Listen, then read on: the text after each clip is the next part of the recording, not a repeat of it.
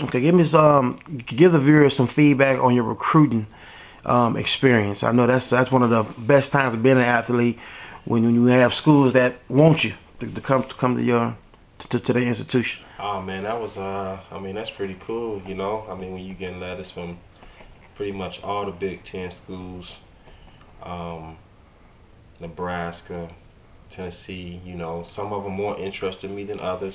Northern Illinois, Louisville was pretty much interested. Indiana, Purdue.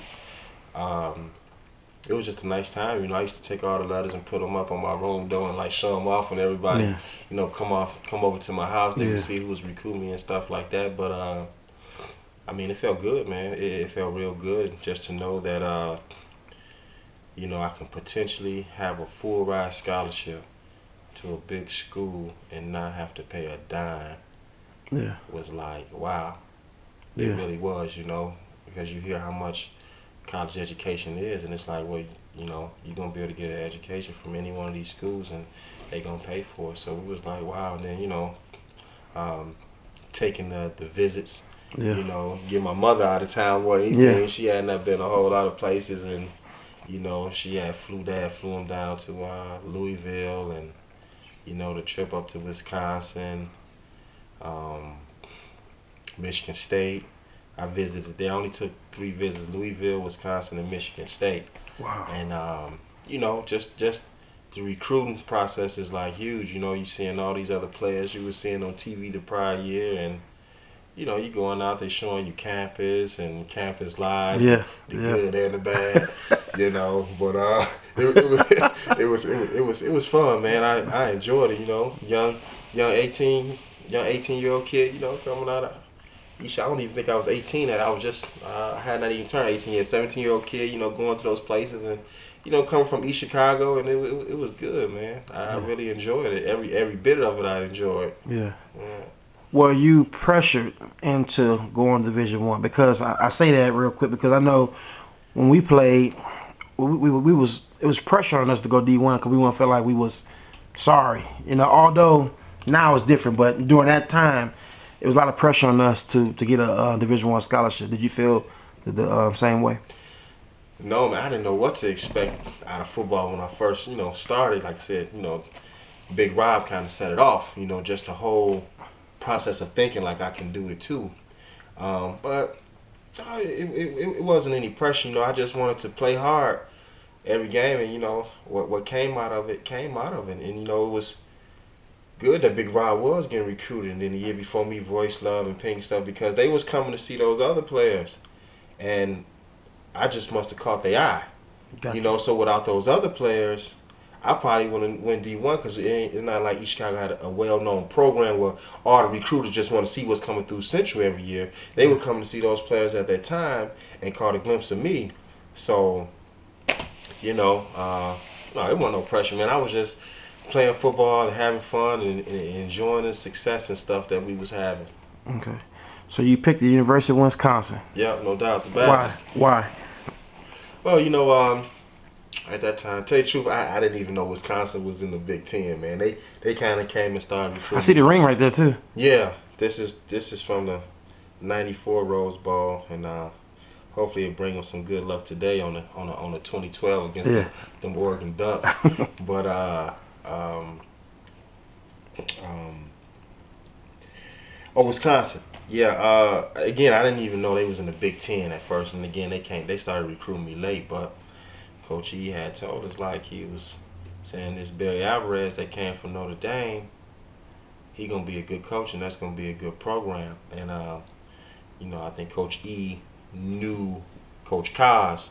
Coach Cosgrove was a uh, linebackers coach at the time at the UW, and I think him and Coach E may have crossed during the coaching ranks back in Illinois Benedictine when Coach E was coaching out of Illinois and stuff like that. Because Coach Mhm. Cosgrove and Coach Callahan and, and Coach Childress had Yeah. the Chicago area. You know, Coach Childress was the head coach of the Vikings. Minnesota Vikings, Yeah. and uh, Callahan uh, took the Raiders to the to the Super Bowl and ended up being the head coach at Nebraska for Wow. a few years. So they was all recruiting the area, and um, he just told us that this place was going to be big one day.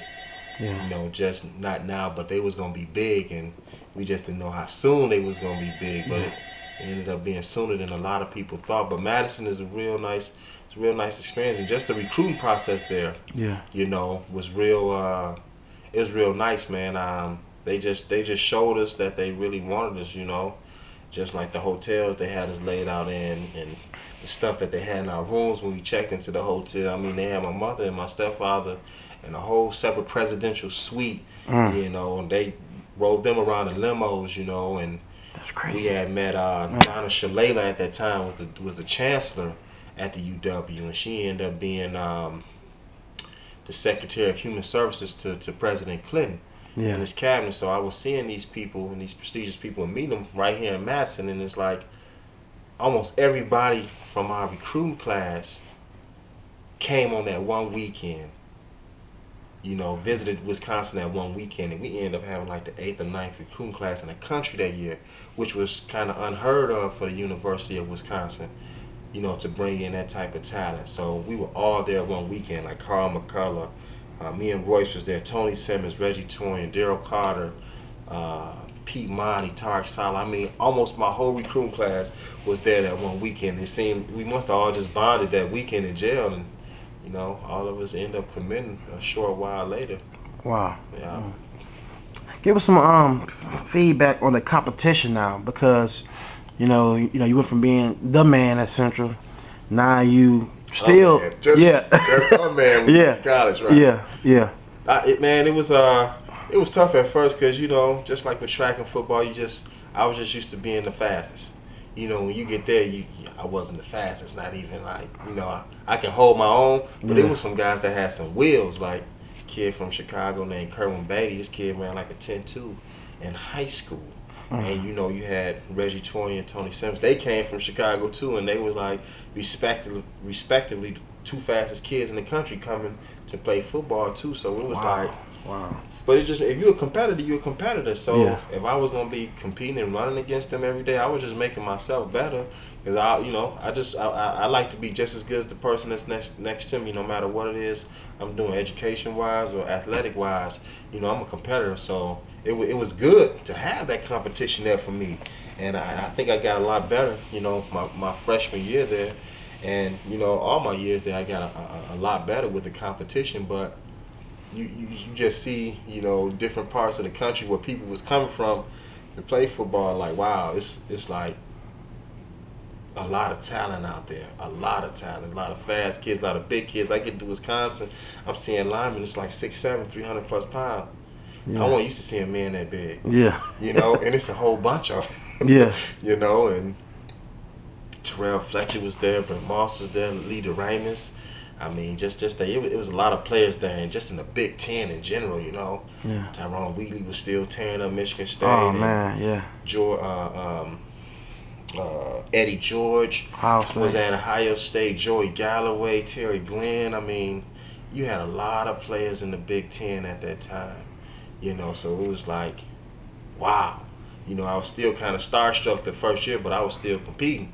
You know, to play because I know, you know, I was starting to see these college players around me.